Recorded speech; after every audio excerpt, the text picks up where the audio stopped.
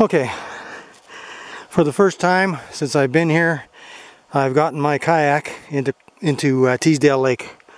Yeah. Wow, it wasn't easy.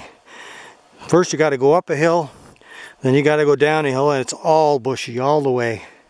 Just that short piece at the beginning where the where you can see where the um, the Portage Trail is. There's no trail. I mean, just that short piece at the beginning where I landed. After that, you're on your own. It's just thick bush and there's a lot of raspberry bushes and some blueberries. Wow, not the best for walking through when you got shorts on. it's not the best for walking through anyways because the berries will will uh, attract bears. And that's what I ran into last time when I tried to get into Ouellette Lake, which is just the over over the other side of that ridge there. Yeah, usually I you know I don't have any problem with bears, but that bear he wasn't going to leave. He said, you get out of here, I'm not moving. And I had to go back.